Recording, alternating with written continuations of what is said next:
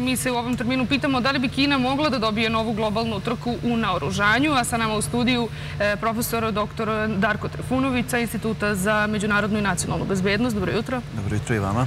I profesor e, dr. Branimir Nestorović, pulmolog. Dobro jutro i vama.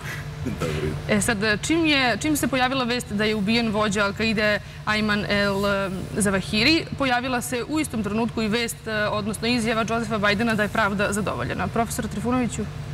Pa znate kako, to je samo dokaz da pojedinac, organizacija ili grupa nisu jači od države i državnih institucija bilo koje državi da se radi, a ne da govorimo o jednoj od najmoćnijih država sveta koji ima također znači, najmoćniju službu. Oni su godinama tražili Ajmana Al-Zawahirija.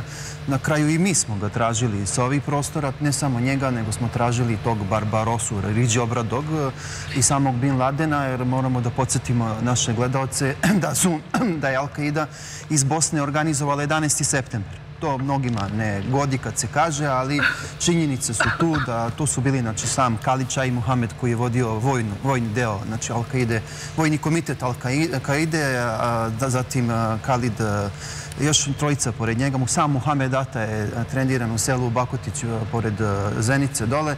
Znači, i još dvojica. Znači, mi smo našli sve njih e, i istraga od 11. septembra je pokazala da su oni imali moćno uporište i u Bosni, a kasnije na Kosovu kroz jedinicu Abu Bakir Sidik. Tako da prema tome imate i presude, znači, Haškog tribunala u slučaju e, i Rasima Delića i Kubure koje govore o najmonstruoznijim i najstravičnijim zločinima i podsjetit ću da je glavno komandujući oružanih, takozvanih oružanih snaga BiH, Rasim Delić i osuđen pred Haškim tribunalom e, upravo za te zločine koji su ritualna ubistva, zločine koji su počinjeli muđahedini.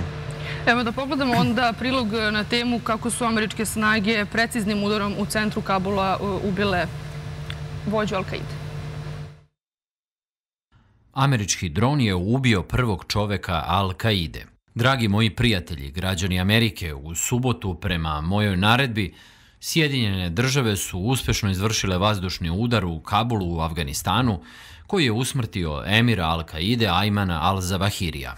Biden je saopštio i da u vreme napada dronom 31. jula nije bilo američke vojske na teritoriji Afganistana. Kada su dva projektila pogodila kuću u kojoj se krio Al-Zawahiri, on se nalazio na terasi. Nije ubijen ni jedan civil, a članovi njegove porodice su se nalazili u drugoj sobi, izjavila je Bela kuća. Biden je saopštio da bi Zavahirjeva smrt trebala da donese neku vrstu utehe i rodbini poginulih u napadu na kule bliznakinje 11. septembra 2001. godine. Krijući se, upravljao je svim ograncima Al-Qaide na svetu, uključujući i postavljanje prioriteta za izvršenje operativnih smernica i smišljao mete za napade protiv Sjedinjenih država – Zavahiri je postao lider Al-Qaide nakon ubistva Osame Bin Ladena od strane SAD-a 2011. godine. Zahvaljujući njegovim organizacionim i taktičkim veštinama, on je rukovodio napadom na kule bliznakinje 2011. godine.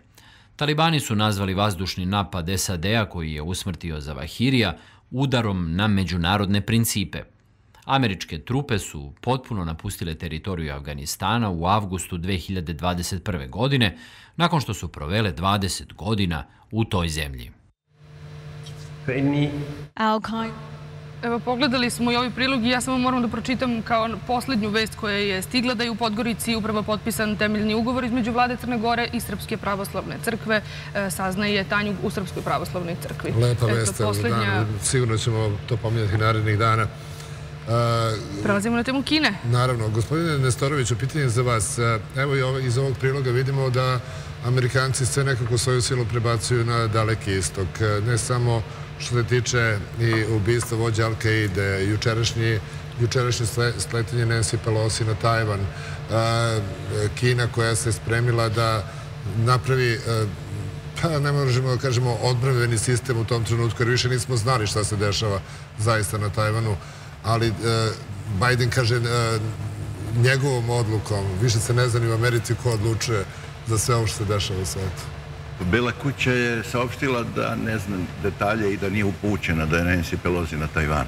To je meni bilo strašno interesantno juče. Oni su rekli da oni nemaju informacije gde je ona, da u stvari, pošto ona je predsjednica kongresa, onda ona ima, mislim, ona speaker kongresa, ona može kao pravati te ide. Mislim što je smešno jer ide vojnim avionom, mislim, tako, američkog vazduhoplovstva, znaš, tako da je to nekako sad su, pa dobro, Kina je bila od Trumpa e, fokus u stvari e, Sjedine američke država, zato što je Kina je globalna sila, mislim, ona je globalna sila u svakom pogledu i strahovito se brzo naoružava, znaš, strahovito se brzo naoružava, vidim da će imati krajem godine četiri nosača aviona. Znači, od nijednoga, koliko je bilo pre dve, tri godine, imaće četiri nosača aviona, oni se brzo naoružavaju, Hvali im još sve i svašta, mislim naravno, zato što su oni imali taj to tehnološko zaostajanje koje su delimično nadoknadili što su im Rusi ustupili nešto od tih tehnologija, ali izgleda da nisu baš sve, jer vidimo da Kinezi ipak samo imaju jednu vrstu ovih hipersoničnih raketa, ovi, ovi, ove, ove druge varijante koje Rusi imaju, nemaju.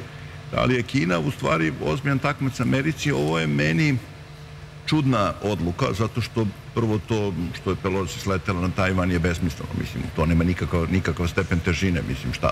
Mislim, to što nasletela je samo neki, ne, neki akt koji treba da razraži Kineze, u stvari, i prilično su uspeli u tome, ali je generalno to ulazi sad, znači, u jednu fazu koja će biti pa skoro otvorena konfrontacija. Ja nisam očekivao da će oni kinezi su ono pričali da će dobore da avion kao Kobayagi, onda sad drže, koliko vidim, pet oko Tajvana pet vežbi drže, baš oko Cenelog ostrva i, i puca se ovom, što kaže, bojevom municijom, ali nije baš logično, mislim, to je ipak objava rata, oboriti avion, američki vojni, mislim, sa predsjednikom kongresa, predsjednicom kongresa, to je objava rata, ali nekako sad ta konfrontacija koja je do sad bila onako, mislim, ipak su bili u rukavicama, nekako sad postaje baš otvorena, znaš.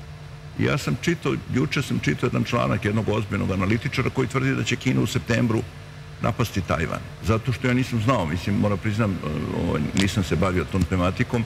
Jedino u septembru i oktobru je taj moreoz između onoga mainland Kine, što zovu, i, i Tajvana, u stvari dovoljno mirno more za neku veliku operaciju.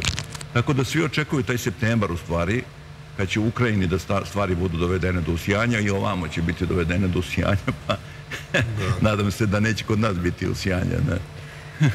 Profesore Trifunović, evo kad je e, doktor Nestorović pomenuo e, naoružanje, e, znamo da Rusija ima raketu, jel, 27 macovih broja i ona ide 33.000 km na čas. Dakle, 4.000 metara u sekundi, jel da? Kako, kako je kinesko naoružanje? O tome se dosta zna, ali se opet možda ne zna sve. Pustite vi to šta Rusija priča, mi smo svega se naslušali, a malo toga smo vidjeli zapravo u Ukrajini. Oni ratuju sa tenkovima, sa NDS vojkama, neke modifikovane verzije ovaj, tih tenkova. Prema tome, to šta se priča i njihova armata, pa je nema nigde. I mnoge stvari se priča, ali kad je, treba da se pokažu zapravo na sceni, tad ih zapravo nema. Pogledajte, pa oni lete, a, lete avionima, ovaj, lete suhojima, nekim, ili tako već, koji su 20-30 godina stari tamo. Ovaj, tako da tu treba uzeti veoma s rezervom, jer kad je sukob u pitanju, tad je trenutak kada vi zapravo dokazujete svoju moć, zastrašujete svojim oružjem suprotnu stranu, ali svakog onog ko podržava vašu suprotnu stranu. Nešto nisam vidio da su Ukrajinci zastrašeni, naprotiv. Ta linija fronta se stabilizovala, što je neverovatno da jedna ipak Ukrajina tako se odupre jednoj takoj sili kao što je Rusija. Što se tiče Kine, e, znate, Kina i Amerika dnevno trguju 3 milijarde. Znači, oni ekonomski su najvažniji spoljno-trgovinski partneri na svetu. Oci jedne i druge nacije morat će da vode i tekako računa. Ovde se pokazalo zapravo da predsjednik Biden nikako ne može da kontroliše e, predsjednicu ili predsjednika kongresa i jasno je da kongres ipak ima malo, kongres može da smeni predsjednika, a predsjednik ne može da smeni da. Uh, tako, predsjednicu kongresa. Prema tome, drugim rečima, ovdje je demonstracija i unutrašnje sile Amerike, unutrašnje snage unutar Amerike. Ništa se tu značajnije neće desiti. Kina ne može da mrdne. Nemojte da se zavaravate. U Južno-Kineskom moru su dve grupe nosača aviona sedme flote, znači cela sedma flota. To sedma, kažem sedma, znači, znači da postoji još ispod, ili tako. Nijedan nosač aviona iz prve, druge, treće, šeste flote nije tamo. Kad kažemo nosač, govorimo o grupi, jer nosač ne ide sam. Kina ima jedan, i to iz ukrajinski stari, koliko su oni prepravili, ali nisu mogli da reše taj, tu transmisiju od nuklearnog motora ka, ka Elisi. Oni su pre godinu, dve dana još dva napravili nova, imaju strahovitu moć da naprave, ali pitanje šta je unutra, kakva je oprema, jer vi možda ga napravite, ali kakvu opremu imate unutra, kakve sisteme imate i pitanje, svi pitanje to je koliko imate iskustva.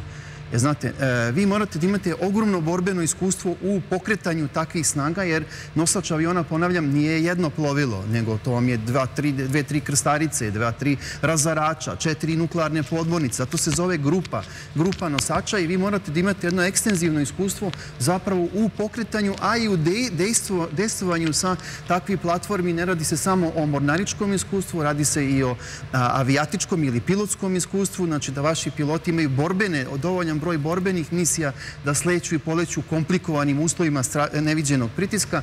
Ja mislim da je Amerika izabrala ovaj trenutak zato što smatraju da, da je ovo najpovodniji trenutak kad oni nemaju to dovoljnog iskustva.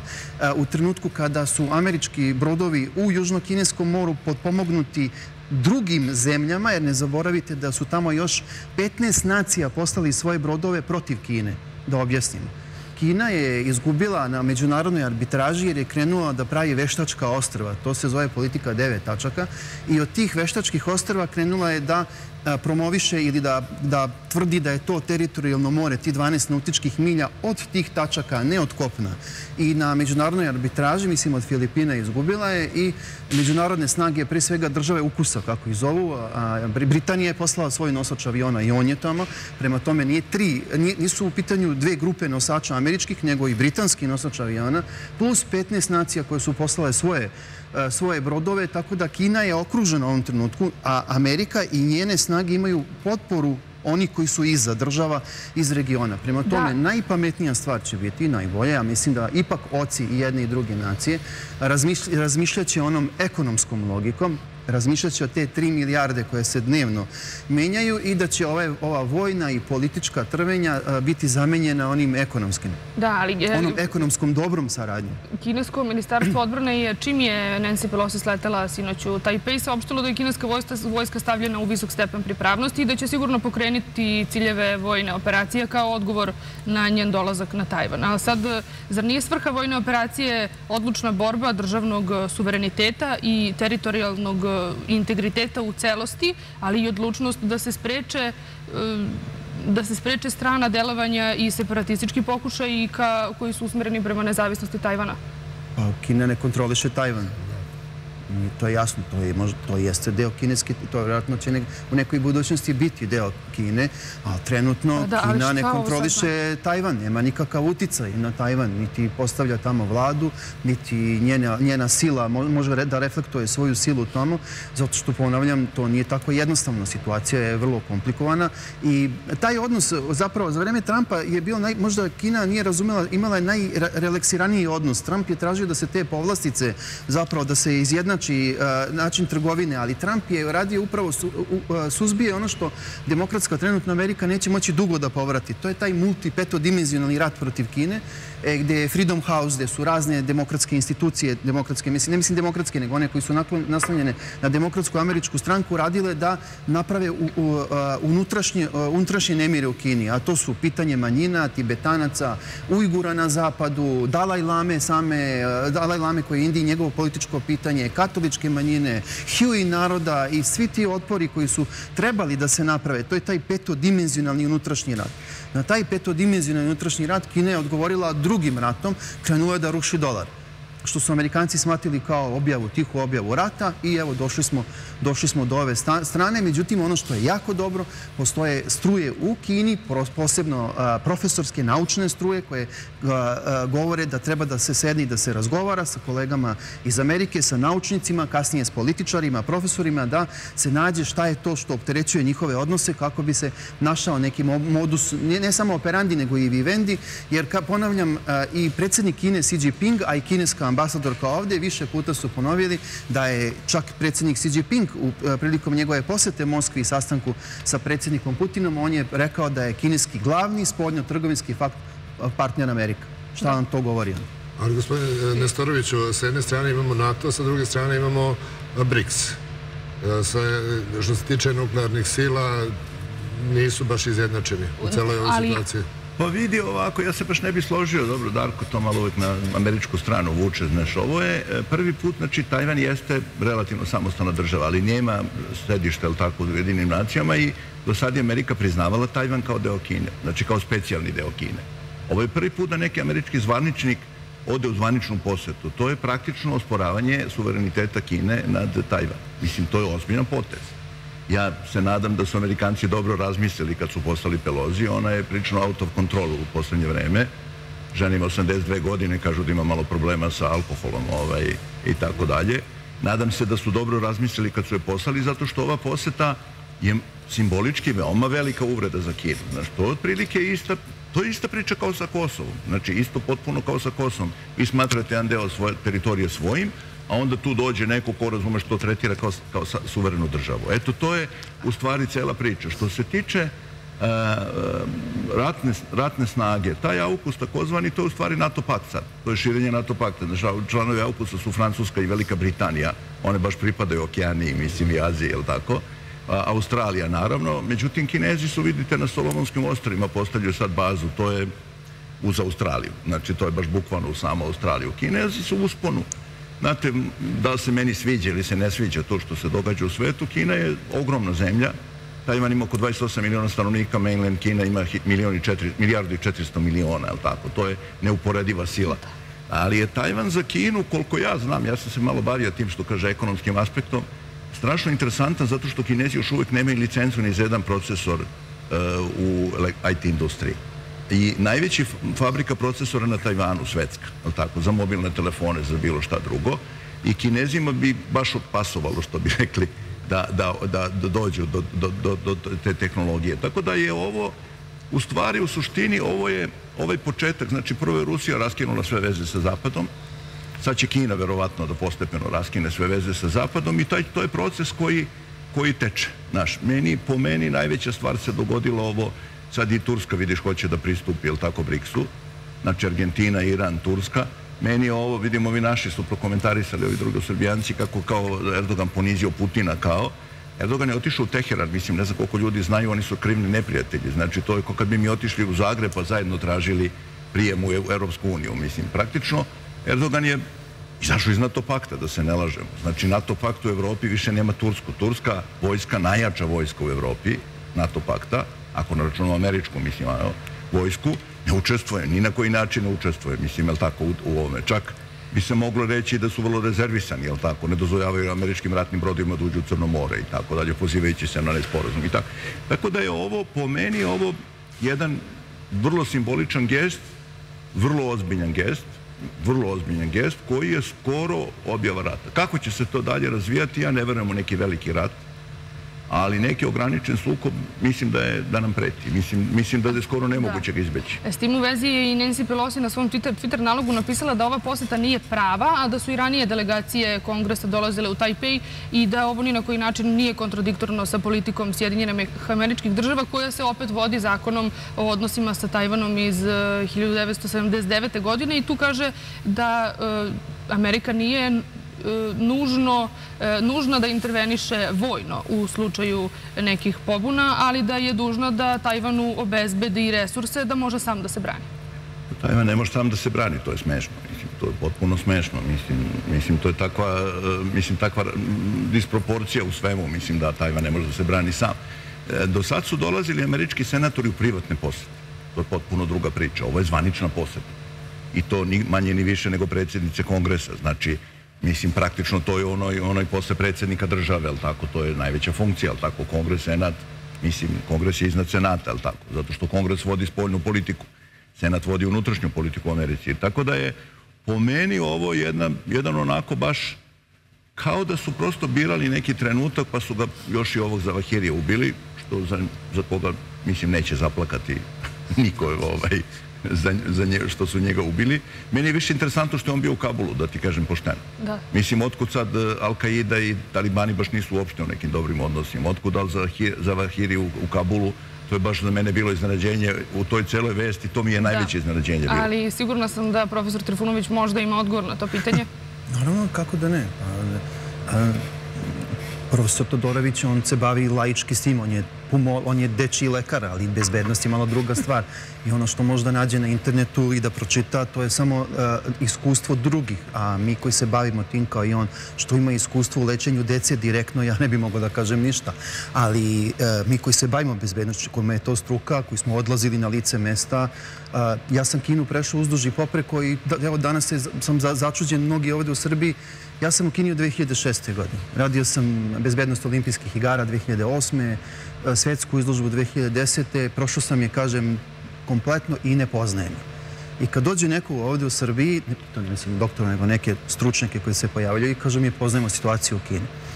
Onako, stavi se znak pitanja, neće doći do sukoba. Ovo jeste demonstracija sila, ovo jeste pokušaj, malo su kinezi pametniji, od ruskih stratega. Znaju oni vrlo dobro šta je Tajvan, da Tajvan je zapravo Ukrajina za njih i da oni ako uđu da ratuju sami protiv svog naroda, pa nisu oni baš da kažem, toliko naivni da ne prate situaciju. Mi smo skoro imali jedan zatvoren webinar sa poznatim kineskim profesorima bezbednosti i upravo smo diskutovali situaciju e, Rusija i Ukrajina, gde je brat na brata faktički i gde Amerika u toj varijanti ništa ne gubi.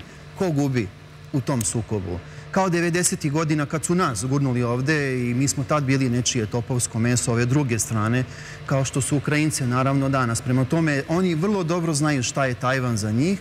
Tajvan, to, je, to su njihovi ljudi, to su Kinezi. Svaki sukob te vrste između Kine i Tajvana, oni će sedeti u Vašingtonu, piće one Starbucks kafe i gledat će, naravno, premići ove sa protibrodskim raketama, uništit će im ta tri nosača aviona, vratit će ih na, na setovanja kompletna. I ono što je najvažnije, E, postoji u Kini jedan deo, ja kažem, ne mogu da govorim u ime Kine, jako predajem na Fudanu, ali postoji jedna, jedna elita, ja, to je moj, neka, moja interpretacija, to je ta šangajska ekonomska elita koja je prisutna u svim većim gradovima Kine. Vi kad odete iz e, Šanhaj, kako oni kažu, i sletite na zapad Kine, u Urumči, Kažgar, u Taklamakan pustinju, vi nemate osjećaj da ste došli u neki udaljen deo Kine. Avion sleće pola sata nad Urumčijem. Znači, kao da slećete nad Njorkom. Centralne kineske vlasti su se potrudile da zapravo pokažu i svojim komšijama u, e, u centralnoj Aziji i svojim komšijama na jugu da se Kina ravnomerno razvija, da njihovi gradovi izgledaju isto kao na isto, u istoku Kine, tako i na zapadu tako da su to ogromne ulice i do pre 30 godina tamo je glavni, glavna, glavni plan bio da svako ima bicikl. Evo, pre dve godine, profesor Dragišić, moj kolega i profesor Radović, mi smo bili na jednoj raskrici u Šanhaj i merili smo štopericom koliko će Ferrarija. Nismo gledali ove druge automobile, nego ove najluksuznije. Znači, vi ne možete da verujete. Znači, taj razvoj Kine je razvoj trgovine s jednim američkim državama. Prema tome, tamo se razvila ta ekonomska, ja je zovem šangajska elita prisutna u svim tim e, megapolisima. Oni će i tekako, i tekako se oni pitaju i neće dozvoliti da dođe do tog sukoba, jer zamislite da prestane ta trgovina. S kime će Kina da trguje? Sa Srbijom? Sa Afrikom? Pa, nemoguća misija. Samo sa Amerikom. I sad vi ubedite jednog Kineza da iz Ferrarija treba da sedne, ne znam, u rusku ladu. To se neće desiti. U vi u Kini time ću da završim. To je klasična, to je klasična greška američke filozofije. Pa nemojte vi doktore, pa i sad ispada ja ovde predstavljam Ameriku. Pa predstavljaš Ameriku. Pa ne. A šta vi predstavljate? Nemojte, nemojte, ajde, ajde, ajde malo. Ja vas nisam, ja vas nisam rekao da predstavljate Rusiju. Ajmo da, mi smo ipak kako, nemojte, pa ne. Predstavljate Rusiju. Izvini, ta... predstavljate Rusiju? Pa predstavljam, sviđa mi se da Rusi pobede, što će da pobede. Poštujem to, doktore, ali nemojte vi meni da počitavate koga ja predstavljam moram nešto ti kažem. Imam svoj stav. Se, to je sa svim Nemojte, to, je, to se zvalo slovenački scenarij. To je u Čekajte, samo da raskrstimo malo ovako. Ja ne predstavljam nikoga, samo da budemo precizni. Pa dobro, ali navijaš za Ameriku neprekidno. Pa nemojte, doktore, ja nisam pa rekao... Nemojte, prvo vi ovde pričate o nečemu... Jes, pričate kako su Ukrajinci dobro nemate gram stručnosti. Nemojte, molim vas. Dobro, nemam pa stručnost, ali... U bezbednosti, ali, geopolitici nema. E, ali, ja u medicini... Ali, ne, ja nisam, ali zato ne radim ni za koga. Ja radim samo za sebe, pa ne znam. Da vas pitam, jel vi čuli sad sve? Ovo je čisto Ovo je sve, ovo što priča Darko, ovo što priča Darko, on je čak i rekao, on je čak i rekao, Freedom House je pomenuo to. Znači, to se zove slovenački sindrom. Ideja je bila razviti Šangaj. A ja to je protiv toga. I onda će Šangaj da... Niste razumeli, objasnim. Ja sam protiv toga bio, jer je to multidimenzijni rat protiv Kine. To je propalo u Rusiji. To je ista potpuna ideja bila sa sankcijama. Potpuno ista ideja. Ovih šest i Trump je ukinuo finansiranje Freedom House-a. I to je pomoglo Kini da se relaksiraju ti odnosi, međutim, teo je da uspostavi fair saradnju oko taksi.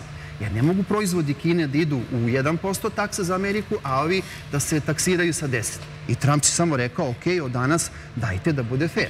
Ali je pritom ukinuo finansiranje demokratskog, mislim, ne mislim pritom demokratskog, nego na demokratsku stranku, jer oni naginju ka Freedom House-u. Ali je Biden u tri dana sve vratio. Evo, moram Pa samo dobro, tri dana sve vratio. Upravo zbog vašeg... Da. e, Ideja je bila, izvini, samo da završim misao. Ideja je bila u Rusiji, sankcije Rusiji su bile baš ovo što priča Darko. Da će oligarsi ruski, kojima će, zašto su zaplenjivali jahte, brodove, to deluje malo blesavo, ali tako? Mislim, naročito u smislu da je protivzakonito. Mislim, uzmeš nekome jahtu zato što je Rus, mislim, zato što je bogat čovjek i zato što ima jahtu. Kakva je to pravna osnova zapada koje se toliko diči? Mislim, privatna svojina, ali tako? Ideja je bila vrlo prosta. Kad udarimo na oligarhe, oni će pokrenuti svoju mašineriju da struše Putina vrlo jednostavna tako filozofija. Ista je filozofija u Kini. U Rusiji je propala, u Kini je takođe propala. Mislim, ne znam koliko su ljudi ovde pratili onu epidemiju covid u Šangaju, baš zanimljivo u Šangaju, koji je bio zatvoren dva meseca i tako dalje i tako dalje. Meni je ta epidemija covid uvijek bila i zanimljiva, mislim, ove, zato što je bila zgodna za neke, za neke stvari je veoma zgodna. Prema tome, ta ideja da će e, oligarsi da se, po- da se pobune, to posla nema ništa zato što oligarsi su ipak samo pro- produkti. Videli ste kako je Kina sredila onoga ma, onoga najbogatije Kineza, za dva dana su ga vratili na fabrička podešavanja. Prema tome, e, postoji nešto što zove država i država ima svoje strateške ciljeve. Od bombardovanja kineske ambasade, strategija Kine, ja sam čitao sad skoro celu knjigu, je čovjek napisao o tome, kako postoji taj priručnik kineske vojske koji se bavi rušenjem Amerike. Prema tome nema nikakve saradnje, naravno trgovina da, mislim, trgovina nema veze s tim. Jasno. Evo da, da u, u, jedna naša gledateljka upravo je poslala dopis našoj redakciji koji je upravo inspirisan ovim vašom mini raspravom. Kaže, dobar dan, moje poštovanje, pišem iz Novog Sada. Moje mišljenje je da je USA bila, sada je i uvek će biti najjača vojna i ekonomska sila. Rusija i Kina treba još dosta da treniraju da bi e, to postigli i da bi stigli Ameriku. PS, puno pozdrava za prelepu voditeljku. Hvala. Hvala i vama, dragi gosti, što Hvala ste bili sa nama u ovom terminu.